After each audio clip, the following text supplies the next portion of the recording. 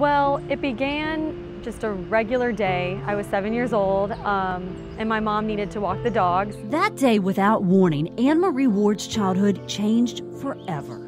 So she looked back when we were down the street a few blocks, and I just passed out. I was just blue faced on the street. Her mom watched as her then seven year old daughter was taken away in a helicopter.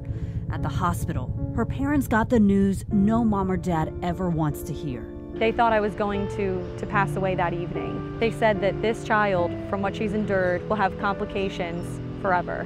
She will never be a normal kid. Annie, as her family calls her, was only in second grade. She was diagnosed with a heart disease that threatened to take her life. Hypertrophic cardiomyopathy is a really big word for enlargement of the heart muscle.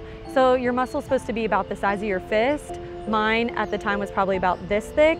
And as I grew older and older, my heart muscle thickened more and more. After three weeks in the hospital, she got to go home.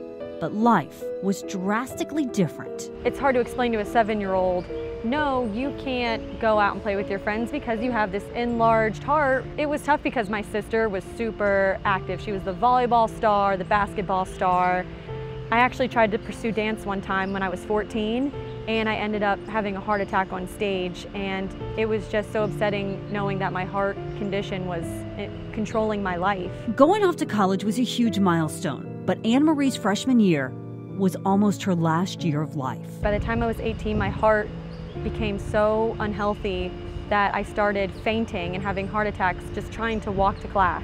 And I really did wonder why life was worth living. What was the point of this if I can't effectively do anything? Her doctors told her it was a miracle that she was alive. He sat down and said, I have no idea how you were functioning. Her only hope?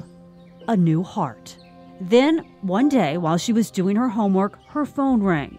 Her mother asked her if she was sitting down.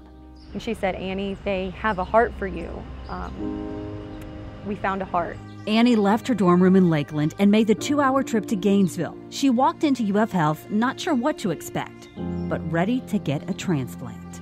I describe it as the most peaceful moment that I have ever felt in my entire life. I just knew that I was ready for this and that my life would be changed forever. But the heart waiting for her meant another family had to say goodbye to their precious 14 year old daughter. Uh, it happened actually on April the 19th.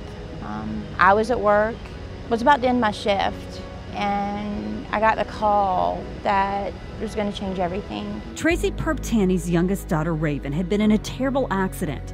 The four wheeler she was riding crashed. She was injured so badly she had to be airlifted to UF Health Gainesville. 48 hours later, her daughter was declared brain dead. And they said, Tracy, we, we can't do any more. And I said, okay. I said, call LifeQuest. We know what we need to do. And I wanted to fight for that heart because it was a heart of gold. Raven donated four organs. Her mother sent letters to all of the recipients and for months wondered if she would ever hear back. Christmas was approaching.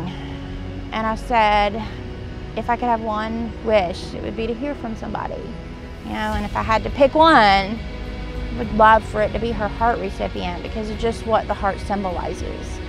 The day before Mother's Day, 2013, Tracy's wish came true. She got to meet Annemarie, in whom part of her daughter now lives.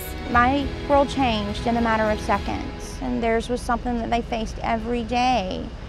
And to see her flourish and to be able to tell that story is just is phenomenal. I think I got a second chance because I think I'm going to make a difference in this life.